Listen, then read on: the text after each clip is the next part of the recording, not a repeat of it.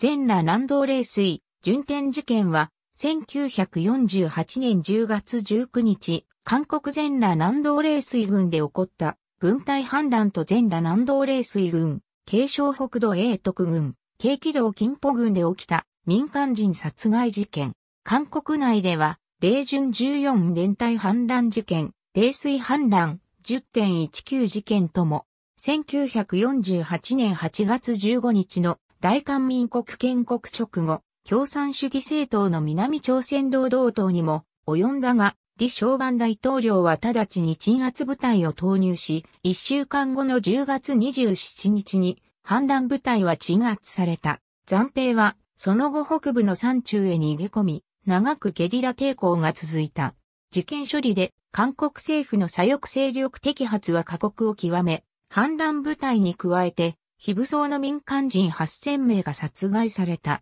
多くの者が日本へ密航、逃亡し、在日韓国、朝鮮人となる背景となった。冷水、順天事件の現場となった。冷水軍本事件による死者は1週間で2976名、行方不明887名、負傷1407名に上り、事件の首謀者と幹部152名が軍法会議で死刑となった。李承晩は本事件で韓国軍内に多数の南老党員が浸透していることを知り、大々的な粛清を実施、左翼や南道党員、出身者など約4700名余りが韓国軍から排除された。これは当時の韓国軍全将兵の1割に近く、後に韓国政府の要人となる牧世紀や李修一もこの時逮捕され、無期懲役を宣告されている。反乱部隊が第14及び第4連隊であったことから、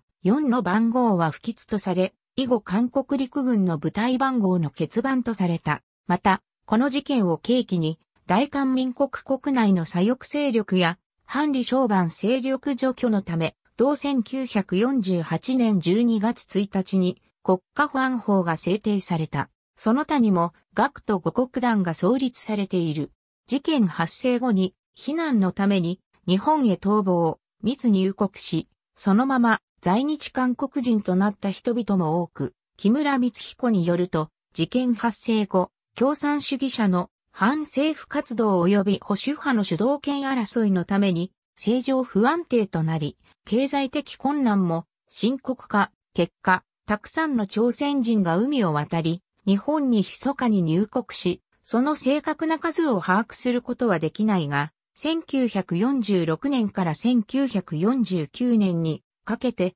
検挙、強制送還された密、入国者数は5万人近くに達し、未検挙者をその3倍から4倍と計算すると密、入国者総数は20万人から25万人規模となるという、事件後、チェジュ島と同様、地域全体に国家反逆のレッテルを貼られた住民は、長い沈黙を強いられることとなった。事件の全容が公にされたのは民主化宣言後の1990年代に入ってからである。ABC、ファミリーズコメマーイト8、000シビリアン、ビクティムズザコリアンウォーアットジョギーテンプルワイブド、ファミリーメンバーズデマンド、映画場面とアポロジーコンペンセーションフォーシビリアン、ビクティムズ、ハンギョレ、http コロンスラッシュスラッシュイングリッシュ .hany.co.kr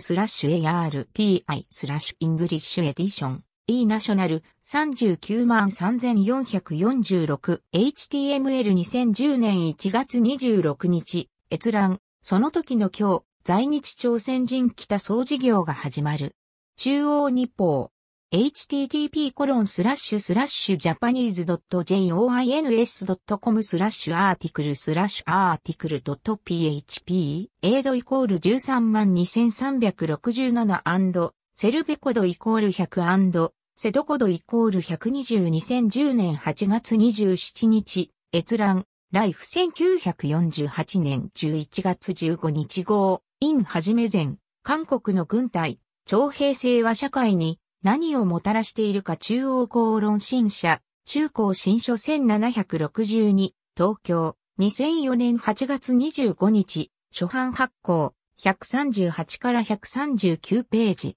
木村光彦、日本帝国と東アジア統計研究会学祭第1号2016年 P56 ありがとうございます。